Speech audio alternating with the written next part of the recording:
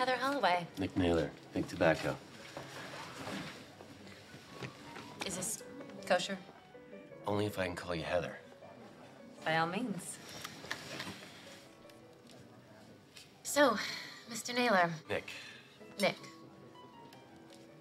Let's start with. an 82 Margaux. Okay, is it good? Good. It'll make you believe in God.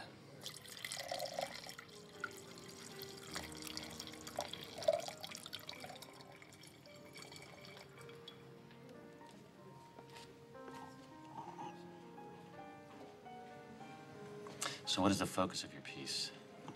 You? Really? You want to know how I live with myself? No. I don't imagine that's much of a problem. I want to know how you see yourself.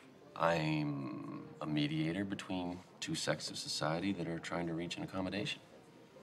Interesting.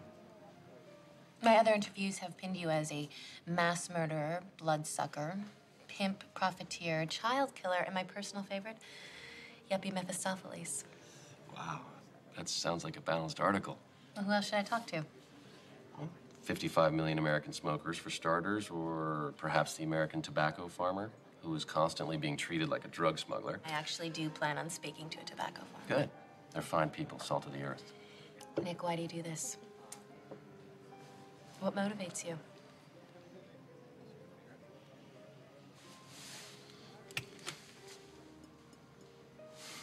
You really want to know? Mm-hmm. Really? Mm-hmm. Population control.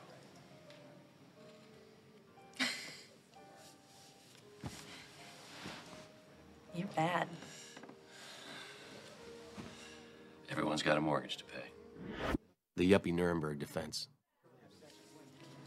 So is the mortgage that much of a life goal? Well, 99% of everything done in the world, good or bad, is done to pay a mortgage.